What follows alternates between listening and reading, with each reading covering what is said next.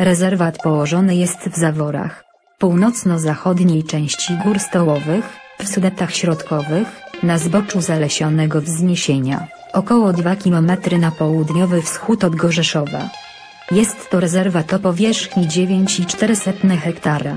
Utworzony głównie dla zachowania i ochrony naturalnych form skalnych i rzadkich gatunków roślin i wietrzenia piaskowca wieku górnokredowego.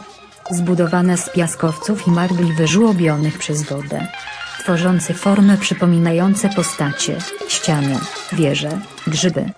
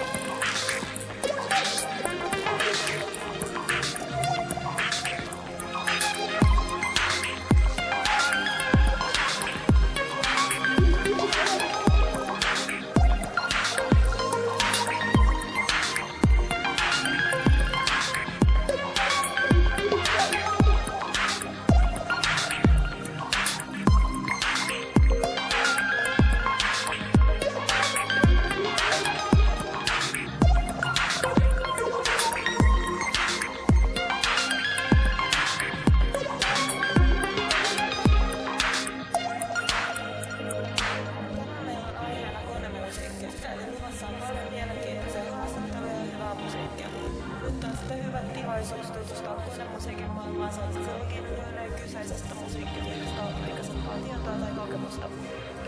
Joo, joo, katsokaa, se on hyvä tietää, jos laittaa